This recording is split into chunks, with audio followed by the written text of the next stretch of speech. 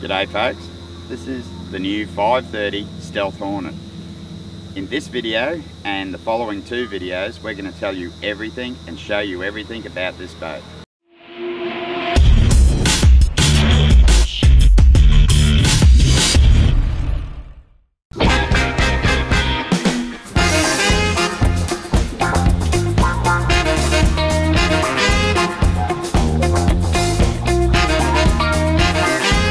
Let's get this thing out in the water. This is what I call trouble-free boating. Quintrex and Evinrude.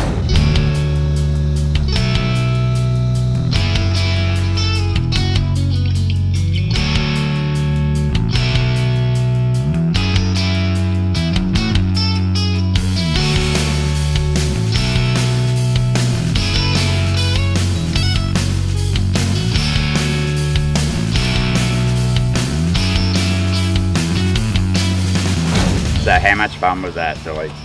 Went out in this bass boat thinking, okay, it's a bass fishing boat, barra, flicking lures. Mate, I come back with the idea of putting a ski pole on this thing and turn it into a ski boat. How amazing. Went like a ton of bricks. 88 kilometres an hour was our maximum speed. That was with me in it by myself. Um, pole shot, like it's on the plane in half the boat length. It's just incredible. It's it turns equivalent to an apex hull.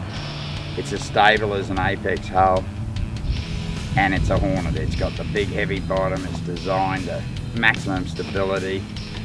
I was flat out hanging on in some of those tight corners I was doing. The G-forces, I had my foot, I don't know if the drone shows it, but I had my foot nearly jammed into the rod locker because it was just pure G-force. There was no rocking and rolling around corners. I'd go back over my own wake like I was running over something this big. The boat itself throws very little wake.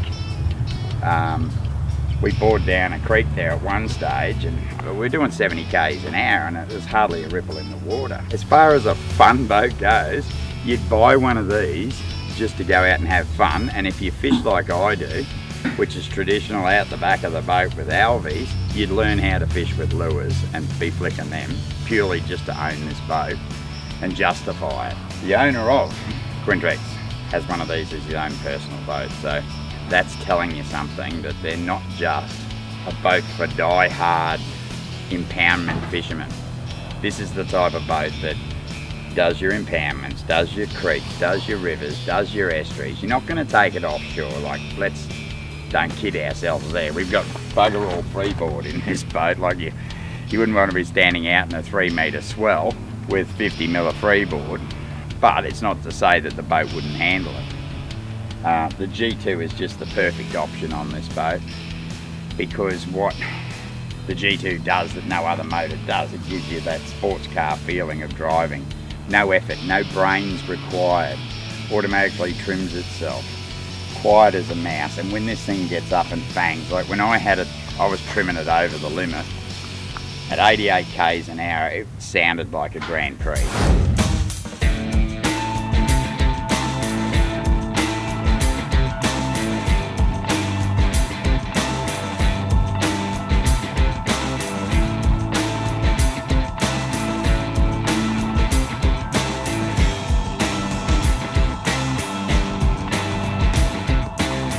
Okay, so let's run through a few of the features on this boat and a few of the non-standard features, just so people aren't thinking, well, if I just order one straight out of the book, this is how I'm going to get it. So obviously the wrap is an optional extra, and, and this just makes this boat look. It would still be a beautiful boat in traditional white with the Quintrex stripes, but you know, this is just said the picture here. Available in many different styles too. You don't have to have Trevallies on the side of a impoundment boat, do you? The dual console, the extra navigator console, it brings this boat to be like the bass boats we're all getting used to seeing over in the US and what they're racing to, to catch in there. You know, these million dollar comps that they run. Well, where look, speed is the essence to the- get, yeah. well, when when I was in it, I, th those handles, I found myself grabbing onto them as well. Hmm. Well, they are an option too, the handles. Um, and just, I'll tell you what, I, wouldn't have one without them. Yeah, it just know, adds to the features of the boat. We've fitted a nice uh, Elite 9 Ti in the dash here. It's just the right size, you know, it's not the whole dash. It's big enough, it's small enough. It just looks right. These new steering wheels, beautiful feel. I love them with the power steering of the G2 because I just put my finger in here and just turn it around like I'm driving a, my wife's Mercedes.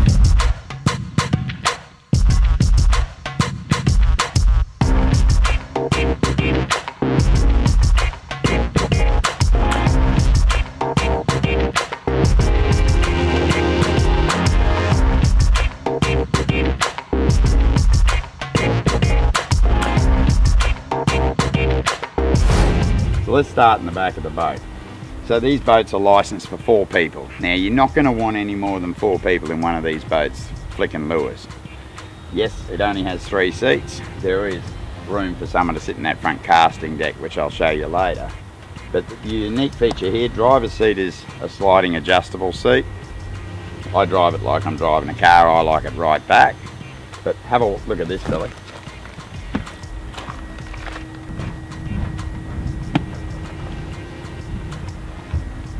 Casting deck. So one person is up here, or two, one aside, comfortably, flicking lures, all the room in the world. We have an abundance of storage room in this boat and hatches, so huge area under there. Huge area here, and in, again, another huge area here. But in this side, we've got a battery and our water separator filter. There's still room for another two or three batteries just under that side if that's what No, you you say. put a whole heap of camping gear under there. Oh, look, you put a family in here. One advantage of these boats with um, the G2 on the back is clean rigging. So this tube here contains everything. Fuel, control box, wires, cables, battery, everything, one tube. No hydraulic ram here because we've got power steering, remember. So it makes it easy enough to hop on any side of the boat. I can walk right away around this transom and the motor's tilted up. How many boats can you do that? Again, you could put some more SeaDek on this area here with the motor trimmed down. There's room here to, for a person to fish right at the back of the boat. So have a look at all this room we've got here. All casting deck. You know, you've got 5.3 metres of usable room on this boat. We can walk all the way around the edges. We've got nice flat top decks. Again, tons of storage room. Bring your camera over here, Billy. Another little thing here that is a unique feature. Little wet, little wet box here can be used as a kill tank. Chuck some ice in there. It's plumbed, so it drains into the bilge area. We've got these little stays that sit up here. They take the weight off of this casting deck when you got a big fella like me walking on top of it. As you can see, I can fit in behind the steering wheel. We have glove boxes in both sides under the consoles. People say, well, where do you put your rods? There's no rod holders in the side. The type of people that are doing competition barra fishing and that, they're using rods worth a thousand bucks. They're not going to chuck them in a rod holder. They're not going to lay them on the deck. They're going to want them locked away in a beautiful little storage locker. And as you can see, you know, it's a fully lined area too. It's not just, let's just leave the raw aluminium there and we'll just chuck our rods in there. It's all carpeted and nicely set out. It's a lockable rod locker. All of these hatches, as you can see, have keys in them. They can all be totally locked up. So this is the type of boat you can park on the side of the road. You're spending a night in a motel and no one's going to steal $6,000 worth of rods and all your beautiful lures and everything. So um, my apologies. You can see a bit of um, aluminium swath in there, but as I said, this boat comes straight from the factory to us and we've taken it straight to the water.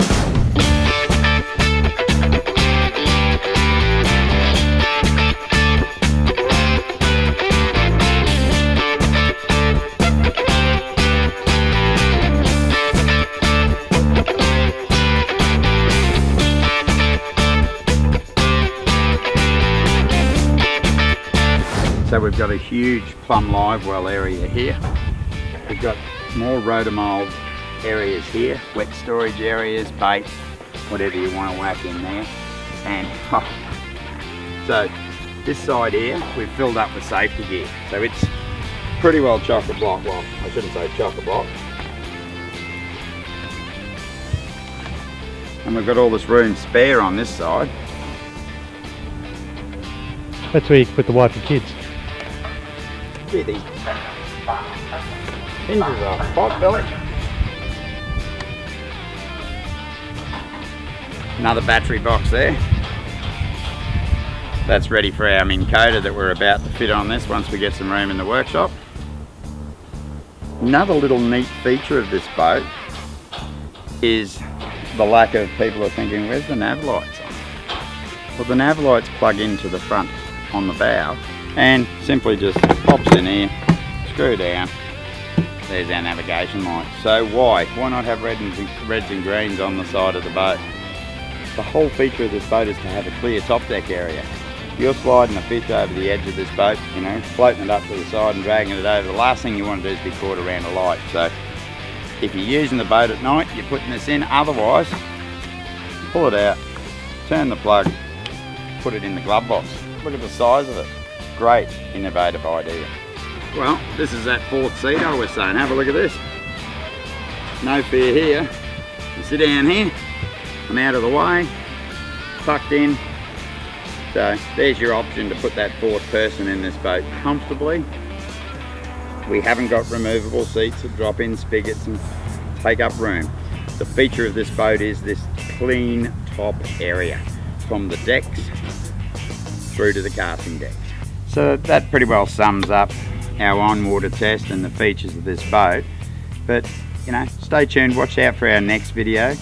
I'm going to um, talk to you about the BMT process. What is BMT and why would you buy a BMT boat from a Quintrex dealer? G'day, Les here. Just finishing off another deal. Do you like our YouTube videos? Well, hit the subscribe button. You know that subscribe button there? You'll become part of the family of Caloundra Marine and get given the latest opportunity to watch our YouTube videos as they become available. So get behind us, we get behind you, hit subscribe.